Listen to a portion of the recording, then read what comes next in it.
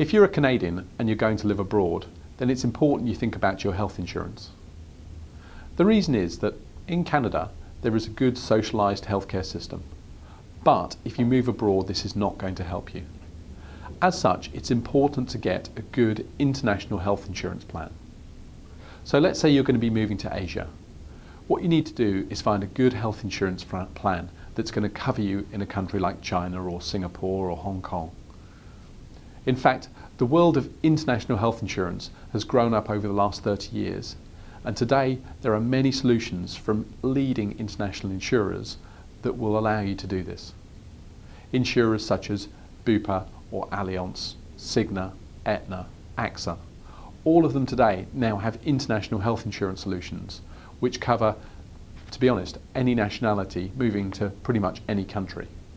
So if you're a Canadian and you're going to live and work abroad, particularly if it's a country like somewhere in Asia or Africa where the quality of healthcare there is at best mixed, it's important to have a good international health insurance plan.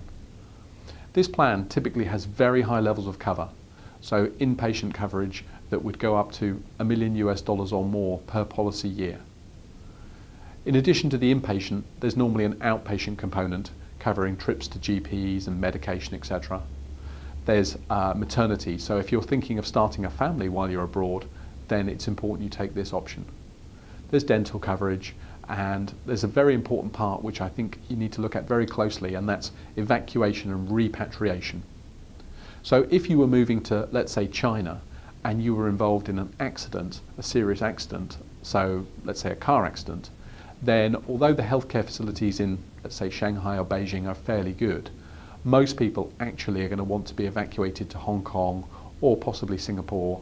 Or if you have the repatriation option, you could even be evacuated or repatriated back to Canada itself.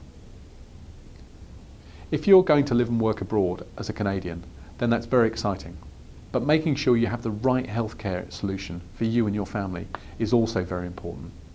We're global experts in this field. In fact, we're the largest distributor of international health insurance to individuals and SMEs anywhere in the world. So if you need help and advice, why not come and talk to us?